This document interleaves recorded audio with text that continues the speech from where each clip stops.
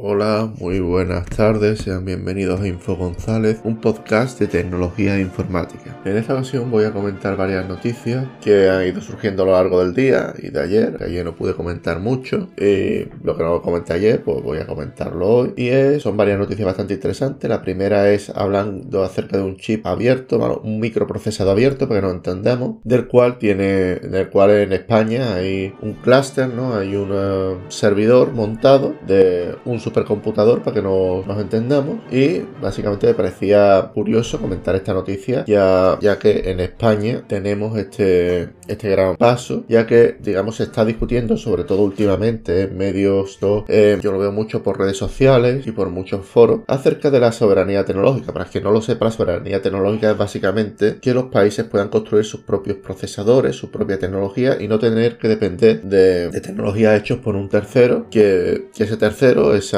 nación va a, tener sus propios, intereses y su propia manera de, actuar frente a ti como país. Decir de que este movimiento lleva ya algunos años funcionando, pero es cierto que no, ha terminado de cuajar, o por lo menos no en España. Y eh, este chip abierto, el chip se llama Mare Nostrum 4, está basado en RICV, es una arquitectura muy parecida a la de la Raspberry y al de los, al de los dispositivos móviles, que vamos, es muy parecido a la arquitectura ARM, es decir, la que la que llevan los móviles, tablets, televisores inteligentes, Smart TV, ¿vale? Para que no entendan. Bien, vamos a comentar otra noticia y es que la policía de Los Ángeles se ha inventado una forma muy buena para parar, digamos, para evitar filtraciones en su, de sus cámaras y de sus intervenciones y es básicamente emplear música con copyright dentro del propio vídeo. Esto lo que, lo que hace es que, eh, digamos, la persona que haya agarrado ese, ese vídeo lo tenga que editar y es más Aparte de eso, el copyright eh, es algo que esta, esto, esta técnica ya existe en muchas redes sociales. De hecho, es, mediante ciertos trucos te pueden tumbar el vídeo. Pero bueno, eso se lo escuché yo a un par de youtubers. Una medida bastante original y como ya sabemos, en las redes sociales no se puede compartir contenido con copyright porque las propias redes sociales te lo bloquean. Es algo bastante original. Sigamos comentando noticias de interés, en este caso del país.com. Y es que hay un youtuber, creo que se llama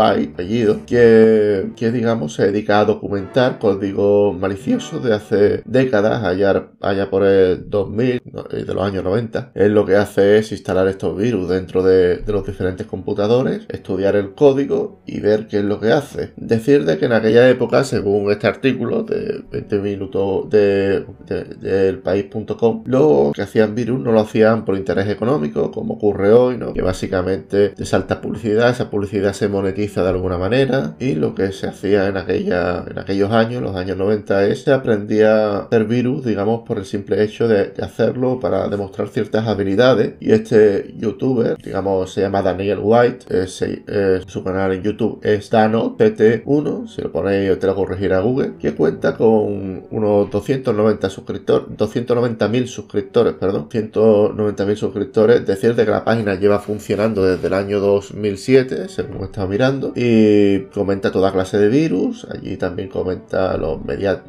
los, mediáticos, tanto WannaCry como NotPetya de 2017. La verdad es que es un canal bastante interesante, es un canal en el cual la persona que, que lo comenta parece que, que, le gusta, lo hace con cierto ímpetu, con, cierto, con cierta energía. También decir de que en, este, en el canal de este youtuber funciona desde el año 2007, es decir, que de estos años, si contamos que tiene 300.000 suscriptores, yo estaba haciendo cuentas así muy rápido y, equivaldría a unas 5 suscripciones al día durante estos, estos años. Muy interesante. Pues bien, sigamos comentando noticias y, es acerca de la precariedad microinfluencer. Y es que un estudio de la Caixa dice de que los microinfluencers, es decir, personas que tienen entre 5.000 y 10.000 seguidores, son personas que, aunque estén en un nicho muy de mercado muy determinado y consigan clientes, son, son normalmente muy cobran de forma muy precaria, según este estudio de, la, Fundación La Caixa. Este artículo lo estoy leyendo de msn.com y es una actividad insostenible para los jóvenes que la desarrollan. Decir de que esto no, es nada nuevo, de hecho la,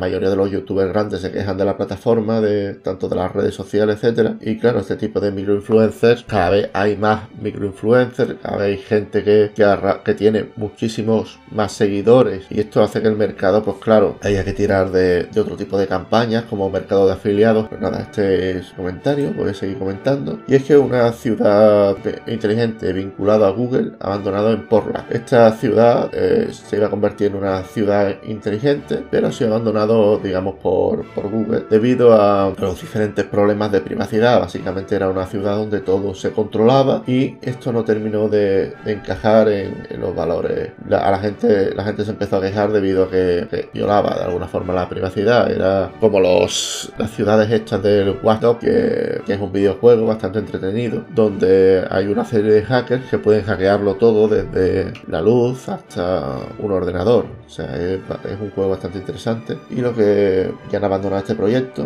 por la de crear este tipo de ciudades inteligentes. Vamos a comentar dos, noticias de, relacionadas con, con, Instagram. Y es que WhatsApp e Instagram, algunos usuarios ya pueden vincular sus cuentas. Es decir, yo ya puedo entrar en WhatsApp desde mi cuenta de Instagram y puedo entrar en Instagram desde mi cuenta de WhatsApp. Algo así ocurre. Decir, de que, de que WhatsApp e Instagram funcionan, eh, digamos que están relacionadas con Facebook y digamos Facebook tiene los datos y cada vez se tiende más a la fusión de las diferentes plataformas de tanto, tanto de WhatsApp, e Instagram como de, como de las propias Facebook, ¿no? Y otra de las noticias que, que me llama mucho la atención, esta vez del mundo.es, y es que WhatsApp no dejará leer ni enviar mensajes a quienes no acepten la nueva, las nuevas políticas de privacidad. Esto entrará en vigor a partir del 15 de mayo y no podrás utilizar WhatsApp ni mandar ni recibir mensajes hasta que no acepte la política de privacidad. Bien, como, como, último, como última noticia de hoy, voy a, voy a comentar de que el director financiero de GameStop dimite después de un mes del frenzy comercial que se ha liado en Reddit. Esto es debido a que, a que una serie de, de personas especularon